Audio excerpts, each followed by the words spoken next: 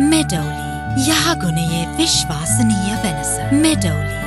මත්කුඩු අද ලෝකයම මුහුණ දෙමින් සිටින ප්‍රධාන අභියෝගයක්. බීඩිය සිගරට්ටුවේ සිට ගංජා අබින් දක්වා පැමිණි මද්‍රව්‍ය ව්‍යාප්තිය. අද වන පිට හෙරොයින් අයිසාදී විවිධ භයානක මද්‍රව්‍ය දක්වා විකාශය වූවා. මුල් කාලයේ ඊයම් කොලේට යටින් තබා දුමක් ලෙස භාවිතා කළ මද්‍රව්‍ය අද වන පිට එන්නත් පෙති දෙවයට තබා ගන්නා කුඩා පෙති ලොසින්ජ ටොෆි ආදී විවිධ ක්‍රම ඔස්සේ භාවිතා කෙරෙනවා. දිවේ අලවා ගන්නා මුද්දර ලෙස පවා මද්‍රව්‍ය භාවිත වනවා. මේ වන පිට ඉතා සියුම් ලෙස ව්‍යප්ත වෙමින් නැත්තේ අයිස් මද්‍රව්‍යයි.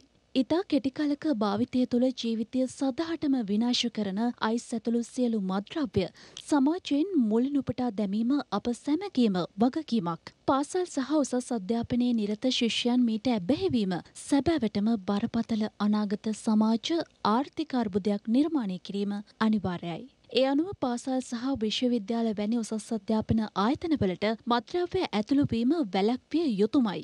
එසේම රටතුළට මද්‍රව්‍ය පැමිණීම වැලක්වීම මේ මද්‍රව්‍ය ජාවාරමය සැබෑ මහමොලකරුවන් විනාශ කිරීම සියලු බලධාරීන්ගේ වගකීමක්. ගෙවුණු වසරක් තුළ හෙරොයින් කිලෝග්‍රෑම් එක්දහස් සාරසය හතලිස් එකක් අතරංගුවට ගැනීමට හැකිවූ බව පොලිස් මාධ්‍ය ප්‍රකාශක ජේෂ්ඨ පොලිස් අධිකාරී නීතිඥ නිහල් තල්දුව ප්‍රකාශ කළා. දෙදස් විසි දෙක වර්ෂය තුළ හෙරොයින් කිලෝග්‍රෑම් එක්දා සාරසය හතලිස් එකක් පම්. එවගේම වැටලීම් සිදු කල්ලා තියෙනවා හතලිස් පන්දස් නමසය හතලිස් අටක් ගලයන් හතලිස් පන්දස් අටසිය එක් දෙනෙක් අත්අඩංගුවට අරගෙන තියෙනවා. ගංජා සම්බන්ධයෙන් ගත්තොත් කිලෝග්‍රෑම් 11881ක් අත්අඩංගුවට අරගෙන තියෙනවා. නඩු පැවරීම් 34182ක් පමණ සිදු කරලා තියෙනවා. පුද්ගලයන් 34062ක් අත්අඩංගුවට අරගෙන තියෙනවා.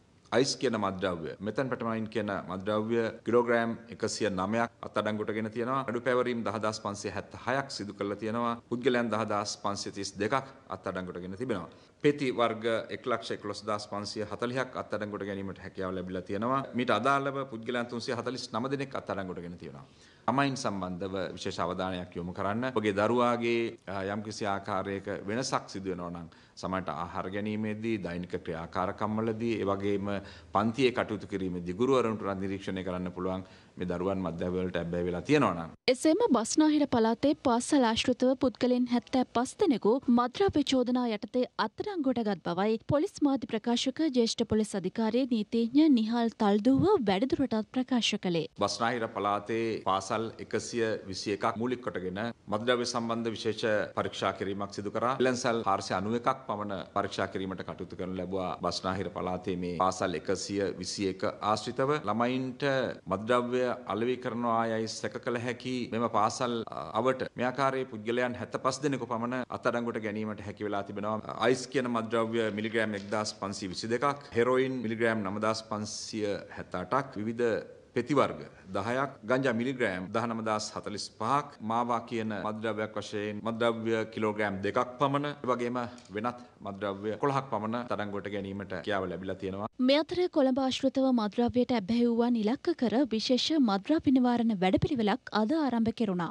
ඒ ජ්‍යෙෂ්ඨ නියෝජ්‍ය පොලිස්පති දේශපන්දු තෙන්නකෝන්ගේ ප්‍රධානත්වයෙනුයි. බස්නාර පළාතේ මේ ප්‍රශ්නයට යක් තර්ජනයක් තියෙනවා කියලා අපි අඳුරගත්ත ඉස්කෝල 200ක් තියෙනවා. ඒකෙන් ඉස්කෝල 122ක් ආශ්‍රිතව ඊයේ වැටලීමක් කරුවා. ඊයේ මේ පාසල් 122ම ඉලක්ක කරගෙන කරපු මෙහෙයුමේදී මාවා කියලා කියන මත්ද්‍රව්‍ය වර්ගයේ කිලෝ 2යි ග්‍රෑම් 148ක් අහු වෙලා තියෙනවා. හෙරොයින් ග්‍රෑම් 9යි මිලිග්‍රෑම් 300කුත්, අයිස් ග්‍රෑම් 1කුත් මිලිග්‍රෑම් 522කුත්, මත් කරල් දහයකුත් මේක ඊයේ දවල් අත්අඩංගුවට වෙලා තියෙනවා. පුද්ගලයෝ 75 දෙනෙක්ව අත්අඩංගුවට අරන් තිනවා මේ වගේ සම්බන්ධකම් තියෙනවා. එසේම මාලිගාවත්ත පුනරුත්ථාපන දෙවන අධියරද අද ක්‍රියාත්මක වුණා.